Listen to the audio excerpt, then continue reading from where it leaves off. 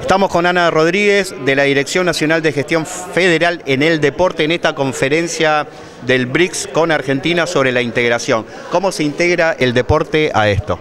Bien, me parece que este encuentro tiene muchos tramos y uno de ellos es el deporte, el deporte, la cultura, como integración de nuestros pueblos, como intercambios de conocimientos, de capacidades, y es un poco lo que venimos trabajando en estos 50 años de relaciones diplomáticas entre Argentina y Chile.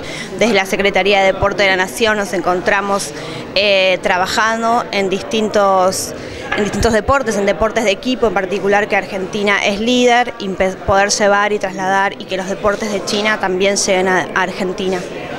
Muy bien. A nivel eh, nacional, eh, federalmente, ¿qué estás haciendo o qué hace tu dirección a favor del deporte de los chicos más humildes o de los barrios populares? Bien, nosotros eh, desde la gestión de Inés Arrondo y desde el gobierno de Alberto Fernández y Cristina Fernández hay una importancia fundamental en el deporte, en el deporte social y comunitario en particular, seguir trabajando para la inclusión, para, que, para el acceso a la práctica deportiva, que es sumamente importante en nuestro país.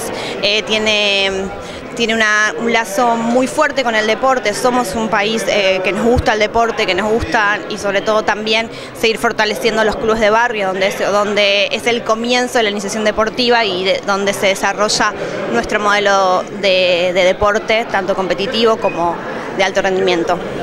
El deporte saca a los chicos de la calle, los vuelve al colegio, eh, los hace pibes sanos, los aleja de las drogas, ¿están así?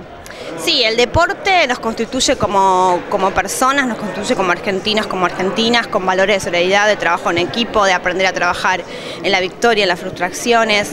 Y también el deporte genera sujetos sociales, sujetos políticos y que sobre todo nos une a nuestra comunidad, porque nuestro deporte es muy comunitario, nace, surge y, tiene un desarrollo dentro de una comunidad integrada. Muchísimas gracias.